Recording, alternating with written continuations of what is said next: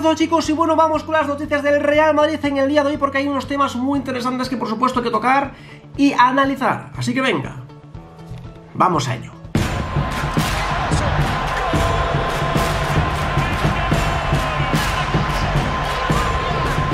Bien, pues como decía, comenzamos con las noticias del Madrid, que está la verdad, una semana muy movidita en el equipo blanco, con todo esto de Mbappé, etcétera, pues bueno, está muy movido y ahora mismo, lógicamente, Madrid busca fichajes, busca alternativas al tema Mbappé, y han salido muchos nombres. Hoy, atención lo que dice desde Italia la Gaceta de los Sport, que es un medio de comunicación muy serio, que allí tiene, bueno, bastante prestigio, dice lo siguiente, el Real Madrid ofrecería 120 millones de euros por Leao, el delantero del Milan.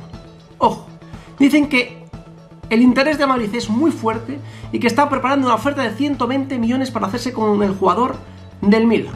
Está diciendo que el Milan, de momento que por menos de 150 no lo venden. A mí esto me parece una locura todo. Es decir, uno, que el Milan parece que quiera pedir como una especie de cláusula que tiene de 150 millones me parece una locura.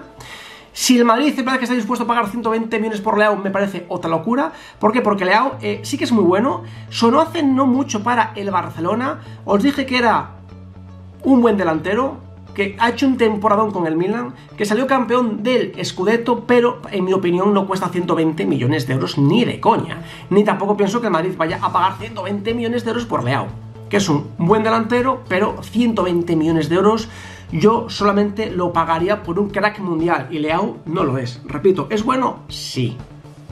Esto dice la Gaceta de los Sport. ¿Es cierto? No lo sé. A mí me extraña. ¿Que el Madrid puede estar interesado en este jugador? Sí que puede ser verdad. Porque al final es un gran jugador, ha hecho una gran temporada. Bueno, es un fichaje que puede encajar. Me parece bien que el Madrid quiera pagar 120 millones de euros. A mí me parece imposible. A mí. Ya veremos si es cierto, si no. Pero eh, sinceramente lo veo complicadísimo. Yo lo veo complicadísimo. Vamos a qué pasa, pero esa sería la primera Noticia. Luego vamos porque Madrid aseguran que se ha fijado en Nabri, jugador del Bayern. Termina contrato en el año 2023. En un año termina contrato. Tiene 26 años de edad. No ha tenido su mejor año, es cierto. Pero a mí me parece que es una barbaridad de jugador. Valor de mercado 70 millones de euros. Es decir, este año si Madrid lo quiere fichar va a ser caro. Y el año que viene hay que esperar si termina contrato, si no, si renueva, si no renueva, etc. Eso tiene que esperar. Pero claro, este año también es cierto que si él dice que no quiere robar, al Bayern quizás no le quede otra que venderlo este año a un precio inferior a los, a los 70 millones de euros porque si no, no sacan ni un duro por él. Claro, cuidado. El Madrid atento a la situación de Nable. Hay un problema ahora que tiene el Real Madrid, es que los clubes saben que tiene dinero. Los clubes saben que hace un año estaban dispuestos a pagar 200 millones de euros por Mbappé. Por cual, mínimo, saben que tienen 200 millones de euros. Al Madrid le van a poner el mercado muy caro. Al Madrid le van a poner las cosas muy difíciles. Esta es la realidad. Se lo van a poner muy complicado porque tiene dinero y lo saben. Y esto en su día nos pasó a nosotros con el Barcelona. Sabían que teníamos 220 millones de Neymar Jr nos pedían cantidades desorbitadas. Al Madrid le va a pasar eso. Nabri sería un fichajazo. Nabri sería un fichajazo que encima yo creo que les hace falta, que reforzaría muchísimo esa banda, que puede jugar en cualquier posición del el ataque y que sería un fichajazo impresionante. No me extraña que salga este interés porque a mí me parece que tiene bastante sentido y que es bastante real. Al igual que el de Leao, me puedo llegar a creer el interés, pero no me puedo llegar a creer la oferta. El de Nabri, yo sí me lo creo. Sinceramente, sí.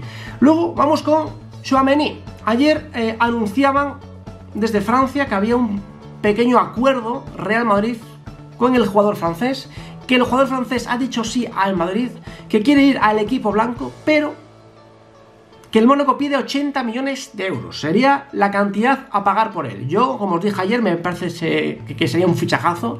Me parece que tiene un potencial enorme. 22 años, es muy bueno y creo que para Madrid encima hace falta. Sería un fichajazo. Yo espero que no lo fichen, pero Chouameni a mí me encanta. Pues bien, hoy sale que el Paris Saint-Germain sigue insistiendo y que además es Mbappé el que se está entrometiendo en el fichaje de Chouameni por el Madrid. que Mbappé directamente habría llamado, esto lo dice Le Parisien y L'Equipe, los dos, que el PSG está pujando muy fuerte por Chouameni y que Mbappé es el que está haciendo un poco de intermediario ahí hablando con el jugador francés para convencerle de que se una al Paris Saint Germain. Es decir, Mbappé cada día haciendo más amigos en Madrid, cada día enfadando mucho más a los madridistas. En fin, Mbappé quiere hacer, lógicamente ahora mismo, un gran proyecto en el Paris Saint Germain y está intentando de convencer a varios jugadores. Chouameni, aún así, dicen que su única idea es de jugar en el Madrid, así que hay que esperar, pero parece que está mucho más cerca del Madrid que del PSG. Y por último vamos con Hazard, porque dice, el entrenador lo sabe, todavía tengo dos años más aquí. Los primeros tres años no, no han ido bien, es cierto, y quiero demostrarles a todos lo que puedo hacer. Hazard, ¿qué es lo que está diciendo? Que Ancelotti no, lo sabe, que quiere continuar, que quiere seguir. Que es verdad que los tres primeros años no han sido buenos, la verdad que decir esto con esta ligereza, yo no sé. Es decir, son tres años, no es no, el primer año no ha sido bueno, bueno, el segundo tampoco. Tres años desde que Hazard fichó por el Madrid y tres años que han sido un auténtico desastre y cada año peor y peor y peor. Dice, me quedan dos años más y quiero demostrar lo que puedo hacer aquí. Hazard dejando bien claro que no se quiere ir, Hazard dejando bien claro que se quiere quedar, Hazard dejando bien claro que le quedan dos años más de contrato y lógicamente aquí el Madrid tiene una patata caliente. Tiene un gran problema y es que si Hazard no se quiere ir, por mucho que Madrid le busque una salida, no se va a ir. Si Hazard no se quiere ir, no se va a ir. A no ser que llegue una oferta por un club que a él le guste bastante, que le pague más o menos lo que está cobrando, y puede ser que sí. Pero el tema de Hazard, sinceramente, tiene una solución bastante complicada para el Madrid, un tema muy parecido al de Bale. La diferencia es que Bale en su día rendió muy bien, que después no, que después se tumbó, etcétera, que tuvo una actitud muy mala, pero Bale ha tenido años muy buenos en el Madrid. Hazard lleva tres años y son tres años horribles. ¿Puede volver a recuperar su mejor nivel? A ver, como poder sí, está en edad todavía de rendir bien. Si se cuida, si es profesional, si pone de su parte, yo creo que Hazard todavía está a tiempo de hacerlo muy bien porque siempre me ha parecido un jugadorazo. Siempre. Siempre. Pero claro, el Madrid, por lo que dicen, va a intentar buscarle una salida como sea. En fin, hasta aquí estas noticias en Madrid. Ahora quiero saber vuestra opinión. ¿Qué os parece? ¿Qué os parece lo de Leao? ¿Qué os parece lo de Chouameni y Mbappé? Lo de Eden Hazard, lo de Nabri. Ya sabéis, dejadme todo en los comentarios, apoyad este vídeo como siempre hacéis con un enorme like, suscribiros y nos vemos en el siguiente vídeo. Venga, un saludo.